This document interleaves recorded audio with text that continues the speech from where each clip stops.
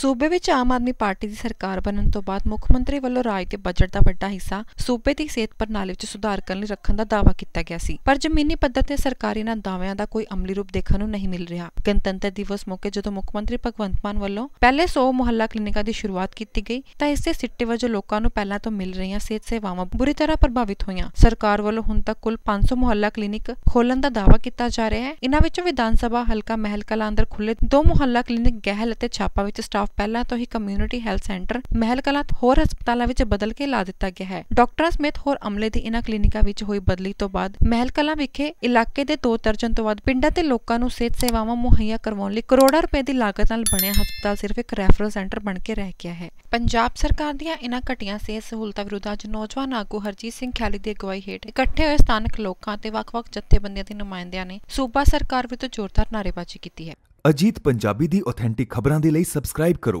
Ajit web TV ਅਤੇ ਤਾਜ਼ੀ ਖਬਰਾਂ ਦੀ ਨੋਟੀਫਿਕੇਸ਼ਨ ਪਾਉਣ ਦੇ ਲਈ ਬੈਲ ਆਈਕਨ ਤੇ ਕਲਿੱਕ ਕਰੋ।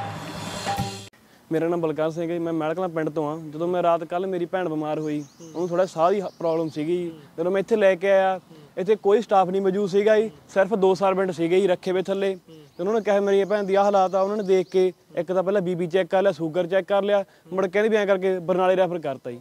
ਮੈਂ ਕਿਹਾ ਬਸੇ ਡਾਕਟਰ ਸਾਹਿਬ ਨੂੰ ਮਿਲਾ ਦੋ ਕਹਿੰਦੇ ਡਾਕਟਰ ਸਾਹਿਬ ਇੱਥੇ ਸਟਾਫ ਹੀ ਪੂਰਾ ਨਹੀਂ ਹੈਗਾ ਇੱਥੇ ਕਈ ਦਿਨਾਂ ਤੋਂ ਇਹੋ ਜਿਹਾ ਕੁਝ ਹੀ ਹੋ ਰਿਹਾ। ਇਹਦੇ ਕਰਕੇ ਮੇਰੀ ਭੈਣ ਨੂੰ ਬਹੁਤ ਦਿੱਕਤ ਆਈ ਇਹਨਾਂ ਨੇ ਕੋਈ ਨਹੀਂ ਦੇਖਿਆ ਸਿਰਫ ਇਹਨਾਂ ਨੇ ਬਸ ਐ ਪਈ ਨੂੰ ਦੇਖੀ ਗਏ ਬਸ ਕਦੇ ਆਕਸੀਜਨ ਪੰਪ ਲਾਤਾ ਕਦੇ ਕੀ ਲਾਤਾ ਵੀ ਕੋਈ ਦਵਾਈ ਬੂਟੀ ਨਹੀਂ ਦਿੱਤੀ। ਜੀ ਸਿਰਫ ਮੈਂ ਕਿਹਾ ਐਂ ਕਰਕੇ ਇਹਨੂੰ ਰਿਲੈਕਸ ਦਾ ਟੀਕਾ ਲਾ ਦੋ ਮਾੜਾ ਜਿਹਾ ਨੀਂਦ ਵਾਲਾ ਵੀ ਹਨਾ ਵੀ ਭੈਣ ਰਿਲੈਕਸ ਹੋ ਜੇ। ਪਰ ਨੇ ਕੋਈ ਟੀਕਾ ਨਹੀਂ ਲਾਇਆ ਕਹਿੰਦੇ ਡਾਕਟਰ ਤੋਂ ਬਿਨਾਂ ਲਾ ਨਹੀਂ ਸਕਦੇ ਡਾਕਟਰ ਇੱਥੇ ਹੈ ਨਹੀਂ ਸੀਗਾ ਜਿਹਦੇ ਕਰਕੇ ਬਰਨਾਲੇ ਬਹੁਤ ਔਖਾ ਲੈ ਗਏ।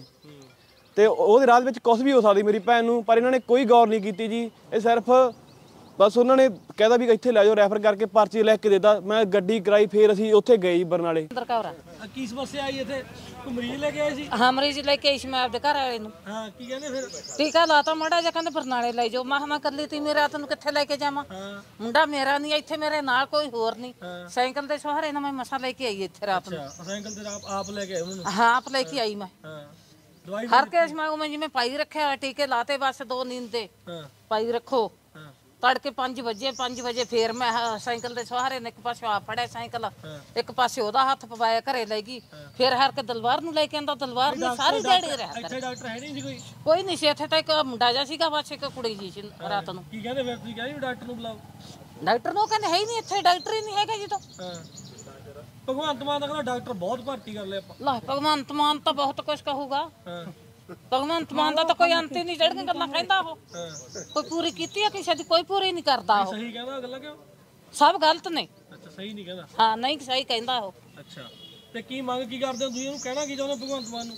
ਮੰਗ ਤਾਂ ਸਾਡੀ ਇਹੀ ਆ ਕਿ ਵੀ ਜਿਹੜੇ ਮਰੀਜ਼ ਇੱਥੇ ਆਉਂਦੇ ਨੇ ਉਹਨਾਂ ਦੀ ਸੰਭਾਲ ਹੋਣੀ ਚਾਹੀਦੀ ਆ। ਬਾਕੀ ਜਿਹੜੇ ਜਿਵੇਂ ਹੁਣ ਅਸੀਂ ਆਉਂਦੇ ਕਿ ਸ਼ੂਗਰ ਦੇ ਮਰੀਜ਼ ਸਾਨੂੰ ਦਵਾਈ ਬੂਟੀ ਇੱਥੋਂ ਮਿਲਣੀ ਚਾਹੀਦੀ ਆ। ਦੋ ਠੁੰਗਾ ਮਾਰਦੇ ਪਰਚੀ ਤੇ ਕਹਿੰਦੇ ਹੁੰਦੇ ਲੈ ਜਾਓ ਮੈਡੀਕਲ ਚ ਉੱਥੋਂ ਲੈ ਲਓ। ਹਾਂਜੀ ਮੇਰੀ ਇੱਥੇ ਪੋਸਟਿੰਗ ਹੈ। ਮੈਡਮ ਕੀ ਹੈ ਇਹਨਾਂ ਦੀ ਇੱਕ ਸਮੱਸਿਆ ਜੀ ਮਤਲਬ ਤੁਹਾਨੂੰ ਮੰਗ ਪੱਤਰ ਨਾਈਟ ਡਿਊਟੀ ਦੀ ਬੇਸਿਕਲੀ ਇੱਥੇ ਪ੍ਰੋਬਲਮ ਆ ਰਹੀ ਹੈ ਕਿਉਂਕਿ ਸਾਡੇ ਕੋਲ ਡਾਕਟਰਸ ਹੈ ਨਹੀਂ ਸਾਡੇ ਆਪਣੇ ਦੋ ਹੀ ਡਾਕਟਰਸ ਨੇ ਇਸ ਟਾਈਮ ਅਵੇਲੇਬਲ ਜੀ। ਤੇ ਉਸ ਤੋਂ ਬਾਅਦ ਵੈਸੇ ਅਸੀਂ ਇਹ ਬਹੁਤ ਟਾਈਮ ਪਹਿਲਾਂ ਦੀ ਅਸੀਂ ਸਟੇਟ ਨੂੰ ਆਲਰੇਡੀ ਮੰਗ ਪਾਈ ਹੋਈ ਹੈ ਕਿ ਸਾਨੂੰ ਡਾਕਟਰਸ ਅਵੇਲੇਬਲ ਕਰਾਏ ਜਾਣ।